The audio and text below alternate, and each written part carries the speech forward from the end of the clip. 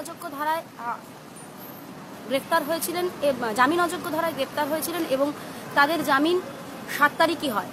আজ আরও তিন সাথীর জামিন অযোগ্য ধারায় যে গ্রেপ্তারি পরোয়ানা ছিল তার বিরুদ্ধে আদালতে আমরা তাদের বেল করাই এবং তারপর শিক্ষামন্ত্রীর প্রতিশ্রুতি অনুযায়ী বারংবার তিনি যা প্রেসকে বলে থাকেন যে আলোচনার মাধ্যমে মিটিয়ে নেওয়া সম্ভব, সেই আলোচনার জন্য আরও একবার আমাদের তিন প্রতিনিধি আমি নাফিসা মেহমুদ এবং অনুপ কুমার সাহু আমরা বিকাশ ভবনে আসি।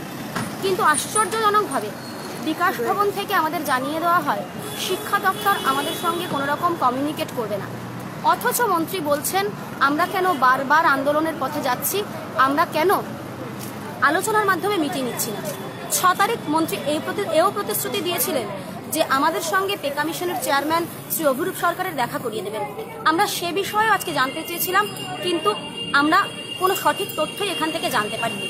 তো সেই জায়গায় দাঁড়িয়ে আমরা বলেছিলাম, যখন আমাদের সাথীদের গ্রেপ্তার করা হয়, আমরা বলেছিলাম যে ছাব্বিশ তারিখের জিওর সঠিক ব্যাখ্যা এবং সঠিক ব্যাখ্যা যদি দশ দিনের মধ্যে না দেওয়া হয়, তাহলে আমরা আবারও আন্দোলনের রাস্তায় হাঁটতে বাধ্য হব। আজও বিকাশ ভবনের সামনে দাঁড়িয়ে আমরা চেষ্টা করেছিলাম আলোচনার মাধ্যমে সমস্যার সমাধান করবার, তা যখন হলো না, আমরা কিন্তু এটা জানিয়ে দিতে চাই যে গ্রেফতার করে লাঠি চালিয়ে জলকামান দিয়ে শিক্ষক আন্দোলনকে স্তব্ধ করা যায়নি, শিক্ষক আন্দোলনকে স্তব্ধ করা যাবেও না। আমরা আমাদের ন্যায্য অধিকার, আমাদের প্রাপ্য সম্মান, আমাদের যোগ্যতা অনুযায়ী বেতনক্রম বুঝে নেওয়ার জন্য দরকার হলে আবারও পথে নামবো।